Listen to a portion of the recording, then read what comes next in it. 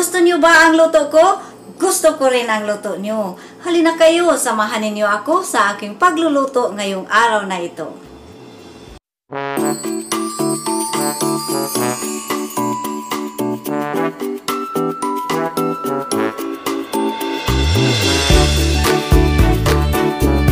Hello mga palangga, magandang araw po sa ating lahat. Nandito na naman tayo sa ating pagluluto portion. At ang lulutuin natin ngayon ay ang tinatawag na ginisang repolyo na may manok. At ipapakita ko sa inyo kung ano ang mga ingredients sa aking ginisang repolyo na may manok. Mga palangga, ang mga ang kumpletong ingredients sa ating paglulutuin ngayon ay of course ang repolyo, ang daming repolyo, di ba? Manok, mayroon tayong onions, mayroon tayong green bell pepper, at mayroon din tayong Knorr chicken cube, mayroon din tayong soy sauce kapag mga, mga ngailangan tayo ng soy sauce.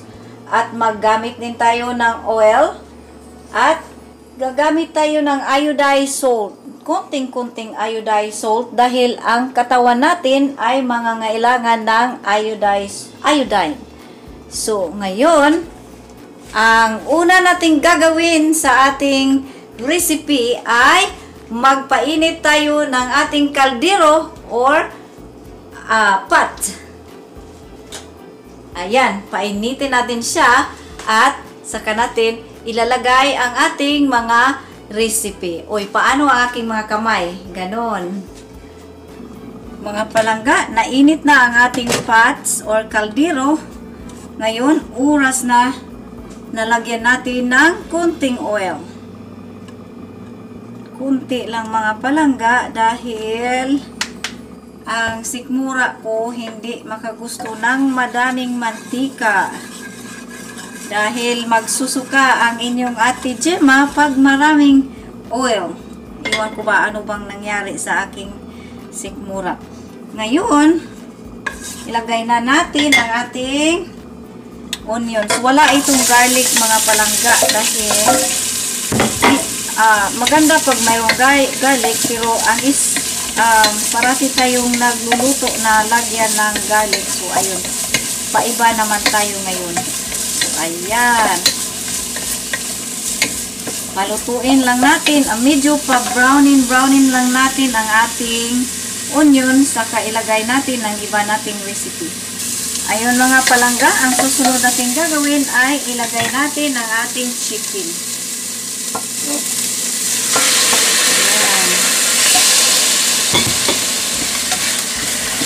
Mayroon, of course, mayroong chicken dahil ginisang repulyo na may manok or lalagyan natin ng manok dahil ang ating recipe ngayon ay ginisang repulyo na may manok.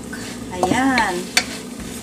At maglalagay tayo ng kunting-kunting soy sauce na ang pinili ko na soy sauce ay less sodium para ano para hindi tayo magkadelikado sa asin ang sa maalat. Ayan. Ngayon hihintayin natin na siya uh, ang manok ay maluluto saka natin ilagay ang iba nating mga ingredients ayun mga palangga ilagay na natin ang ating green, be green bell pepper halo-haloin lang natin para siyang lalong sumasarap. Okay? Palulutuin lang natin ang ating chicken dahil hindi pa siya naluluto. Ayan mga palangga, i-check natin kung ano nang nangyari sa ating niluluto. Ayan. Kumukulo na siya. At ngayon, oras na oras na sa ating paglalagay ng ating um, repolyo. Ayan, ang dami kasing repulyo. Ay, karay, tumakbo. Ang repulyo na aking yan, hinanda. Gusto kasi ako, uy, ito ana, tumakbo pa rin. Ayan. Mayroon pa rin. Gusto kasi ako ng maraming dahon, mga palangga. Ayan. Yun. Yan. Ito kasi ang dadalhin ko sa trabaho ko bukas. Ayan. Greens. 'Di ba? Ang repolyo maraming calcium. So ayun. Ito try natin siya na ano, kakainin.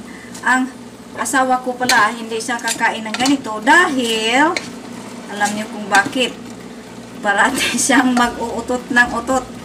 So, ayun, sabi niya, ayaw kong kakain yan dahil mag-uutot ng utot ako. So, ayan.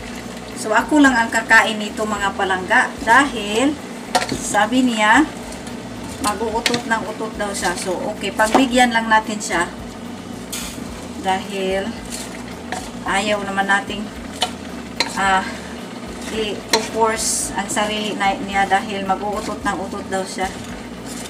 So, ayun. Hihintayin natin siya.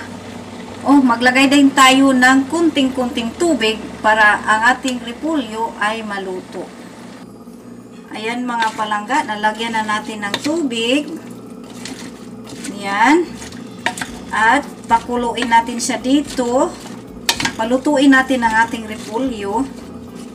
At saka kunin natin, ilagay natin sa ating paglalagyan. Takpan natin at maghintay tayo na siya ay maluto.